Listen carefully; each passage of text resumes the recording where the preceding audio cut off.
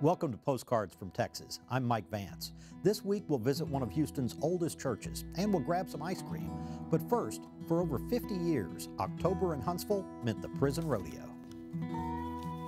Lee Simmons, who was the, the man in charge of the prison system back then, came up with this idea and conveyed it to his uh, warden, uh, Warden Wade, and uh, Mr. Moore, who was his education man and, and, uh, and the livestock fellow. But it was mainly, I, I, think, at first, I don't think they ever had any intention of it being a big rodeo. It was going to be kind of a, well, the crops are in, let's do something for the employees and the inmates. September and October would pretty well wrap up the cotton picking and then all of the other crops being brought in. And it was kind of a barbecue celebration. And if you go on down the road uh, a couple of years later, there's newspaper articles that talk about, you know, they, they sold all the seats and then they'd sell standing room only and still had people in a line two blocks long trying to get in that they couldn't let in. And so you'll read in the next week's paper that they're building more stands hoping to get them ready for the, the rodeo the following weekend. It was so popular, they soon needed a bigger venue. When they got started, there was a baseball stadium there, prison baseball stadium. They had a good baseball team, uh, semi-pro baseball was big in Texas at that time, and they used it. Uh, and then in the late 40s, they, they uh, started building the brick arena.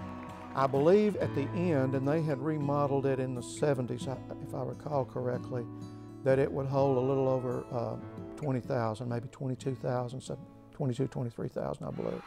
Crowds were consistently good for the prison rodeo. Put together every October, every Sunday in October, rain or shine, made no difference. From my memory, the stadium was always really full. It was, you know, thousands and thousands of people. The town just filled up. outside the state. They'd bring buses in here from Louisiana. Uh, if you had an October that had five Sundays in it, and the weather was good those five weekends, they could pretty much depend on over 100,000 people showing up that year for the rodeo. It was easy to run into people who came every year for a rodeo. We still have people come in this museum all the time that say, oh, we used to go every year. My family went every year to a rodeo.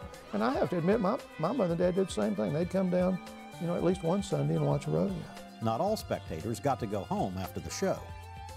And they would bring inmates in from the other, other prison units, rotate them in, and, and they would come. They had their own little section with a double fence around it and, and razor wire up at the top. It was a, a, a, good thing for them because not all of them got to come to the rodeo, and certainly a few, a handful of them got to participate in it. So yes, you weren't going to come unless you were acting right and working hard and all that. In some respects, the prison rodeo was similar to others. It was run pretty much like you see in all the professional uh, rodeos today.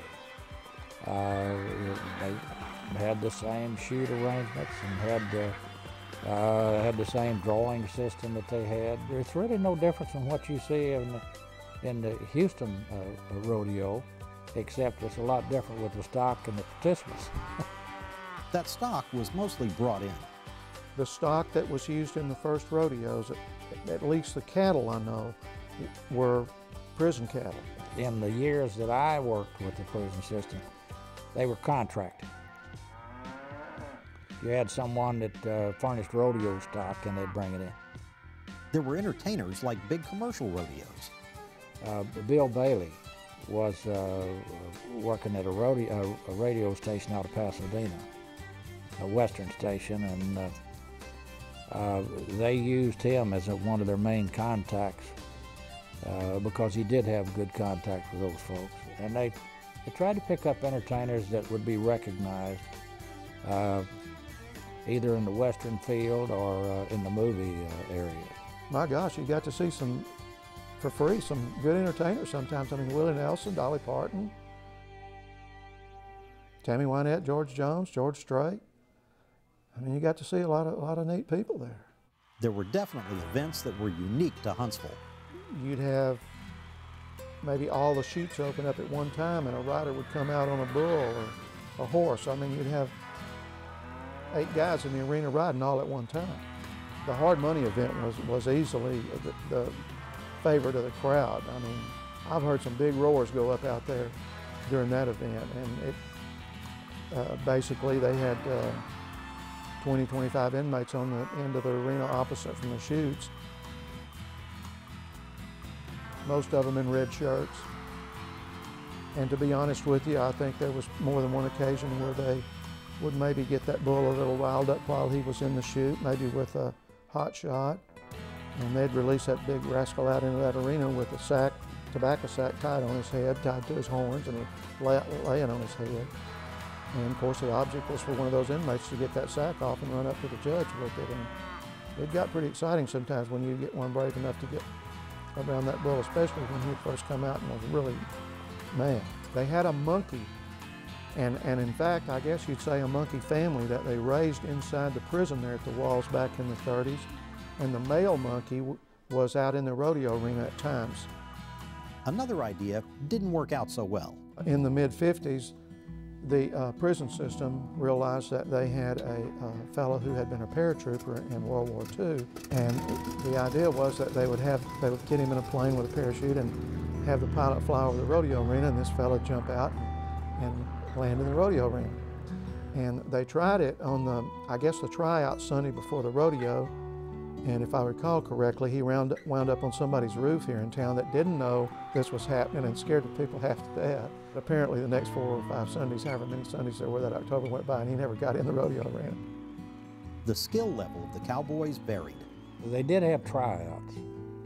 Uh, they'd start that probably two months in advance, the rodeo, and if there were some new folks that uh, had volunteered or wanted to try to get in there, they'd hold tryouts as best they could. I remember whether it was on Saturdays or Sundays, but it was a couple of weekends before the, the rodeo. And those guys would come in there, and you know, a lot of them, I don't think had ever been around a horse or a bull before, and they'd get on there and get thrown all over the place. But they'd be able to pick out enough of them to make good riders in the rodeo, and some of them were were good riders.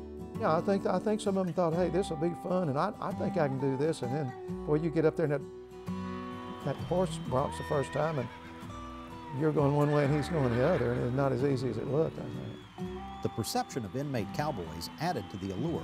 But, but the idea of these guys were incarcerated, you know, and, and there was kind of this idea they had nothing to lose, so it was just kind of wild. Well, I would have to say that the inmates took more risks than you'd see in a normal rodeo. Maybe that's just something we've all conjured up, but on the other hand, I just can't imagine a bunch of regular cowboys getting down there and trying to take a sack off a mean bull's head. I just don't think that would happen very much. Many people feel that the Texas Prison Rodeo should never have gone away. Uh, most of the folks there didn't really understand what started, had no uh, allegiance to it, no reason to keep it up, didn't want to fool with it, rather be doing something else. The prison system management said at that time that the brick stands were unsafe and they didn't have the money to fix them. I would think there's some truth to that in that they were going, they had just gone through a court case in which it cost them a lot of money and they were having to do a, a lot of things to refurbish old units and get ready to build new units. As far as the rodeo arena being in bad shape, they had free labor, people who knew how to fix stuff like that and, and uh, then when they tried to tear it down the following year, they didn't get a bit of it on the ground other than the facade bricks, which you and I could have took those off. So it couldn't have been in too bad a shape. And as far as the money goes, you know, Louisiana is still having a rodeo over there every year, and I don't think they're doing it losing money. I think we had people managing the prison system who uh, had come here from out of state and didn't really understand the significance of the rodeo, especially to this community and how much money it brought in, and uh, how there was some good PR in it. It's hard to find places in the prison system to have positive public relations, but that was one of them. Up next, Houston's First Presbyterian.